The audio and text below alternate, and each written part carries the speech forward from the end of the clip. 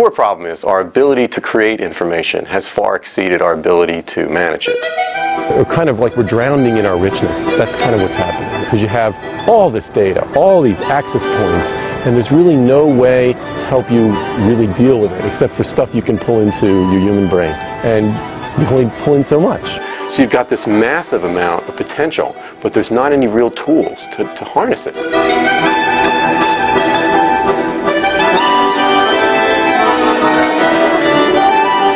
We have so much stuff that we have to deal with, individually, as a culture. So much that it just bursts the bounds of any physical library. You know, if we had a Dewey Decimal System for everything on the web, the trillion pages and all of the subpages we wouldn't find a thing. That system simply can't work.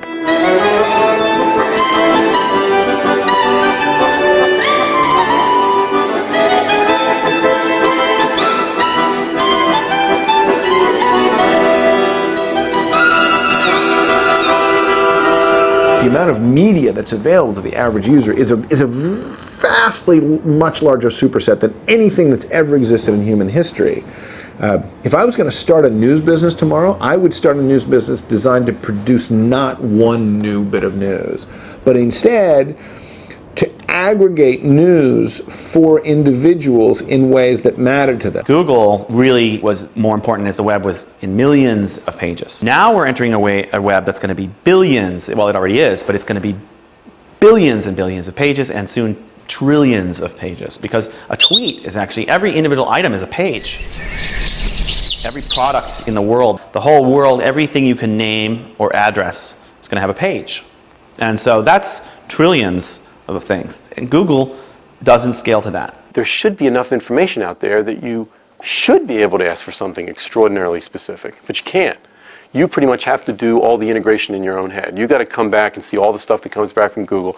Say, oh, I wonder how I could ask that because this was kind of right, but this was wrong. And, oh, I see why it came back, came this out. That, that isn't what I want, though. And so that's not really a, a search. I think people use the word search to mean a sort of parachuting in, crossing your fingers and hoping to land somewhere really good. You know, when you're looking for a camera and you go to some place, there's like 10,000 cameras and you're overwhelmed. And sort of studies show that people actually are less likely to buy something when they're overwhelmed by these things and less likely to actually be happy with what they buy afterwards. We have too many uh, emails, so we start to tag them or label them. Gmail calls them labels. And we start to apply labels. And then we get, maybe we start to get hundreds of labels. And we think, oh, geez, now I've got to label my labels. All the tweets and all of the MySpace.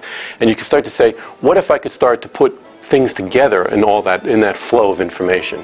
Um, and in order to do that, you need some structure. It's clear that something needs to be done with with more structured data. It's like all the information might be out there. It's just if it's indexed in a really inaccessible form, you know, a lot of times it might as well not be out there, right? That is, that is in many ways the problem of the age.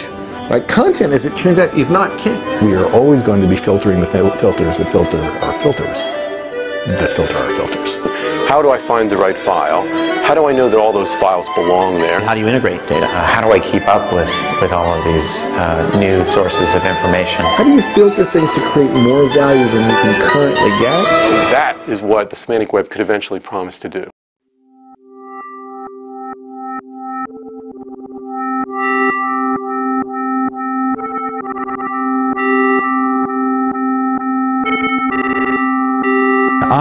Wanted to reframe the way we use information, the way we work together.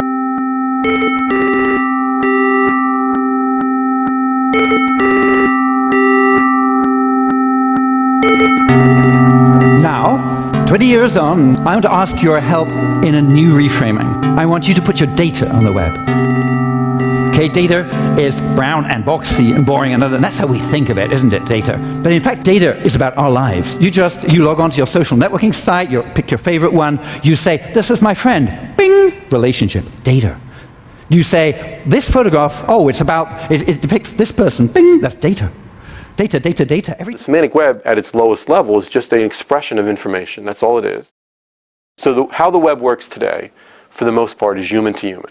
A human being puts something in some format. The computer is all it knows about formatting information. It knows it's supposed to make this bold.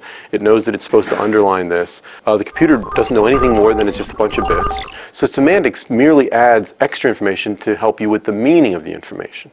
It's really just like um, you know, transforming the web into something that's a little bit more like a database.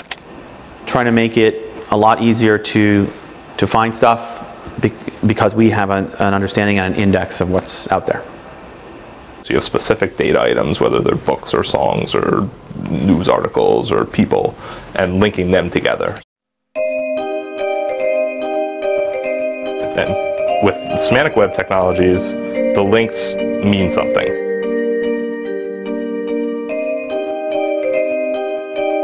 It's all about relationships. About relationships of one string to another string, or one number to another number.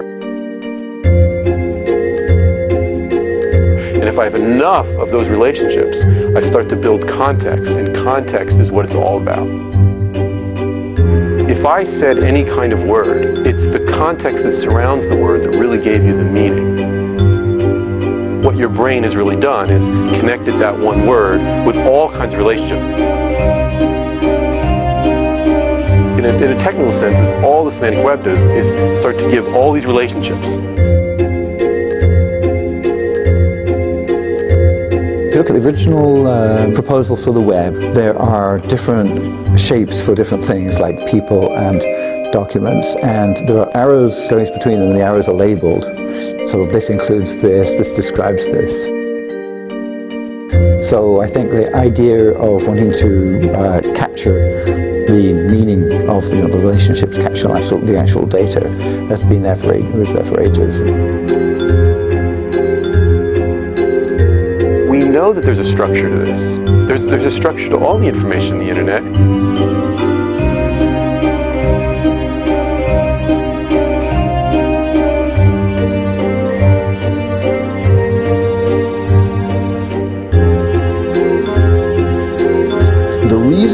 Too many criticisms of the semantic web yet is that it operates in its own bubble.